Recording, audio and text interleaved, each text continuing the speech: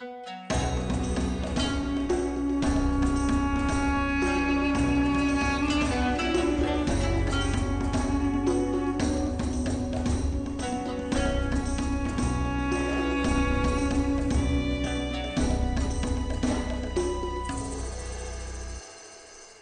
readers, this is Liz Davidson from Beyond Solitaire Books, and today I want to review an old favorite that I recently reread, and that would be Julian by Gore Vidal. So, Julian is a work of historical fiction, and it focuses on letters that are being sent back and forth between these two aging pagan philosophers whose names are Libanius and Priscus. Both of them are reminiscing about the life of the Emperor Julian also known as Julian the Apostate, who was the last overtly pagan, non Christian emperor of the Roman Empire before Christianity became pretty much the official imperial religion for the rest of time.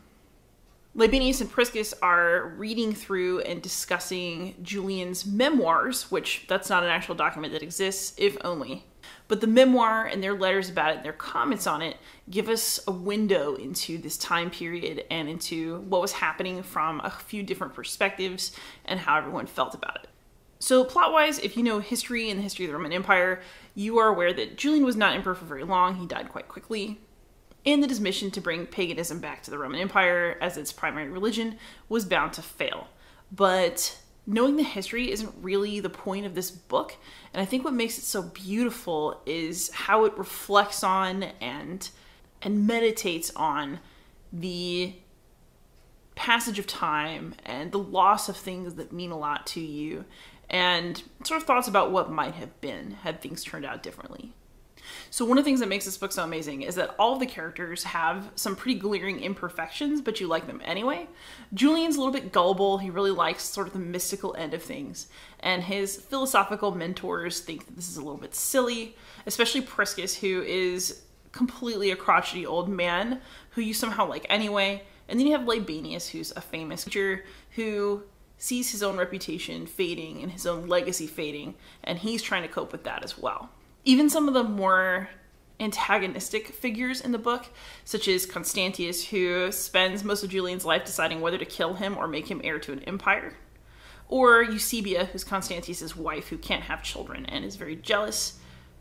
Even those characters end up being somewhat sympathetic, and you find ways to understand where they're coming from and what is happening for them during this time.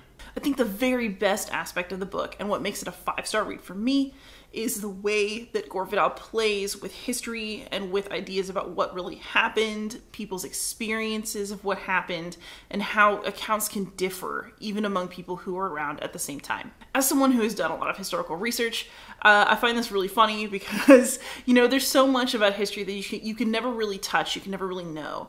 And it's just such a human field of study seeing Gore Vidal play with it this way is just delightful. You know, Julian will say something in his memoir, and one of the old guys writing about it will be like, "That did, that did not happen," or they'll disagree about the characterization of someone, or they'll add information that Julian didn't know, and so they change how you read what happened in his memoir using information that he himself did not have. And I think that Gore Vidal really knows that this is what he's doing you can really read in this book that he's somebody who enjoyed this period of history, who spent a lot of time reading about it, and who's really just relishing it throughout the book. And that's something that, I mean, I love late antiquity. I like my later Roman emperors a lot. It was so refreshing just to feel like I had a kindred spirit and somebody who also really likes these later emperors, later imperial politics, and especially Julian, for whom I have a significant soft spot. This book also does a lot for me emotionally, not just in terms of me being able to appreciate the way that it's playing with history and historical work, which I feel very attached to, um, but also because I'm an atheist. Gore Vidal was also a secular author, and the feelings of loss that these pagan philosophers are experiencing as Christianity becomes the dominant cultural and political force in their world is something that I think that Gore Vidal actually feels on a deep level. There's something really painful and wistful about what these old men have to say. These guys who are, you know, relics of an age gone by. And there's also a sense of fear and of being pushed around. And I love Christian history. Uh, my PhD is in ancient Christianity. I adore it. I was so happy to see Basil of Caesarea and Gregory of Nazianzus show up in this book. It was really charming. Um, and, you know, this is a historical period that I love, and I like the whole cast of characters. But also, as somebody who has been afraid to tell people what my non religious perspective is, or who has felt like my own government doesn't have a lot of respect for me or the way that I want to live, man, I really felt what Priscus and Libanius were talking about. I didn't necessarily agree with Julian's idea, which is to, you know, give it right back and, you know, oppress Christians. I'm not really into oppressing anyone. But that theme of, you know, sort of culture war and opposing sides and, you know, the sadness of seeing things that you value get overtaken by people who don't value it the same way, if at all. It really touched me. So for me, this book really just hits a lot of the right notes. It appeals to me as an ancient history enthusiast and as somebody who, you know, I also wonder about my place in the world and the traditions that I do have to pass on. I'm a Latin teacher. I teach in a really healthy program. We teach a lot of Latin students. It's great. But you know, I also think about the things that I value and whether I'm going to be able to pass them on to people after me and whether the things that I have to teach are even going to mean anything to anybody in the future. And I feel like Julian really touches on all of those things as a novel. There are also moments that are just really funny and really human, and Gore Vidal does a really good job of balancing all of that. I will give two caveats. So, again, for me, this is a five star book. I think there are two things that could diminish your enjoyment of Julian. The first is that Gore Vidal really dove deep into this historical period and he does not give you any cliff notes. So it really helped me to read the book because I mean I knew who everybody was. These are basically like my idea of comic book characters that I'm excited about. I love this this period of history. So be ready to look people up if you are not an enthusiast of the late Roman Empire. My dad read this too and he enjoyed it, even though he didn't know who anyone was. So I know that it's still enjoyable, but it might not quite hit that peak for you that it did for me.